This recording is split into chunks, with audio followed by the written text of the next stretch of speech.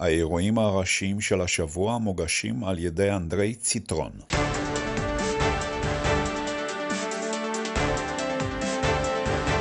אירועי השבוע הברית הצפון-אטלנטית מאשרת מחדש את הסולידריות החזקה שלה עם רומניה, לאחר שנודע לה על התקרית ליד גבולה עם אוקראינה, שם זוהו שברים אפשריים של מזל"ט רוסי. אנו נמשיך לעקוב מקרוב אחר המצב ולהישאר בקשר עם בעלת בריתנו רומניה, מסר נאט"ו בהצהרה. מזכ"ל הברית יאנס סטולטנברג אמר כי אין מידע המצביע על מתקפה מכוונת של רוסיה. הוא גם אמר כי האירוע מדגים את הסיכון לתאונה שנגרם מהסכסוך באוקראינה, וציין כי אירועים דומים התרחשו בפולין. שר ההגנה הרומני, אנג'ל טולבר, הודיע שמומחי משרד ההגנה הלאומית אספו ראיות ליד הכפר פלאורו במחוז טולצ'ה בדרום מזרח, כ-70 מטרים מהדנובה. דובר המשרד ציין כי נקבעו אמצעים לחיזוק היכולת הטכנית לניטור ואבטחת המרחב האווירי. הנשיא קלאוס יוהניס הכריז כי במקרה שבו יאומת כי המזל"ט שייך לרוסיה, התקרית מהווה הפרה חמורה של ריבונותה ושלמותה הטריטוריאלית של רומניה. יום קודם לכן נשיא המדינה הצהיר כי לא היה אף חלק, לא מזל"ט, ולא שום חלק אחר ממכשיר כלשהו שהגיע לרומניה. הרוסים מתמקדים לעיתים קרובות בנמלי הנהר של איזמעיל ורני בדרום בסרביה, שטח רומני מזרחי שסופח על ידי ברית המועצות הסטליניסטית ב-1940 בעקבות אולטימטום, ואשר עליו השתלטה אוקראינה ב-1991 כמדינה יורשת. הנמלים הללו מהווים נקודת יציאה חשובה לייצוא אוקראיני לאחר שרוסיה פרשה מהסכם מעבר תבואה דרך הים השחור ביולי. חיוניות להובלת סחורות על הדנובה, רני נמצאת במרחק של כ-13 קילומטרים מקו ישר מהעיר הרומנית גל"צ, באזמעיל נמצאת על זרוע קיליה של הדלתא, שהפכה לגבול בין רומניה לאוקראינה.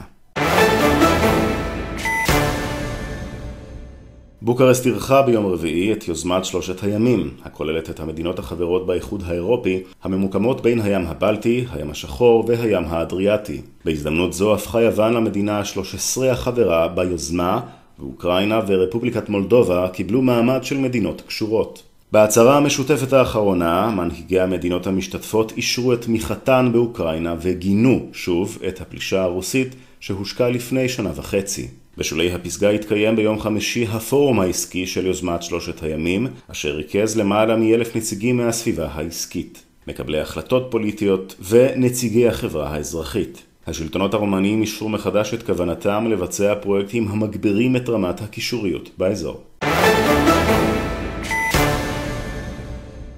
ראש הממשלה הסוציאל דמוקרטי של ממשלת המפלגה הסוציאל דמוקרטית והמפלגה הלאומית ליברלית, מרצ'ל צ'ולקום, הודיע ביום שלישי שהקבינט הממשלתי שלו יקבל עד סוף החודש הזה אחריות בפרלמנט על הצעדים שבאמצעותם הוא מקווה לצמצם את הגירעון התקציבי.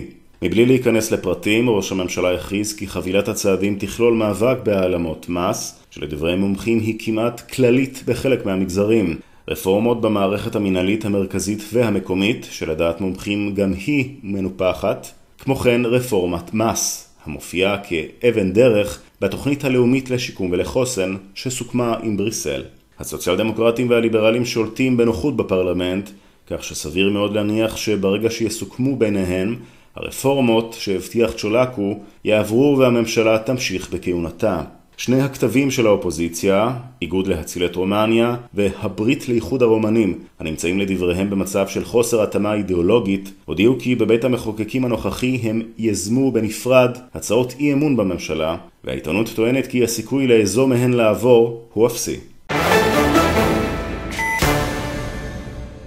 בעלי החברה שבבעלותה תחנת הגז הטבעי הנוזלי בעיר קרבדיה שבדרום רומניה הרחק מבוקרסט, שבה אירעו שני פיצוצים בחודש שעבר שהביאו למספר רב של קורבנות, הושמו תחת מעצר מונע למשך 30 יום. התובעים תפסו כמה נכסים וחשבונות בנק של השניים, על מנת שהמדינה תוכל להבטיח פיצויים לנפגעים. לטענת הרשויות, בעקבות הפיצוצים ב-26 באוגוסט נהרגו חמישה בני אדם ויותר מחמישים נפצעו. שישה בתים נהרסו כליל וכמעט שמונים חלקית. בעלי החברה מואשמים כי קידמו במשך שלוש שנים לפחות, באופן שיטתי, הפרת הוראות חוק בדבר ביצוע פעולות תדלוק, הובלה, העברה ואחסון של דלק מסוג גז טבעי נוזלי.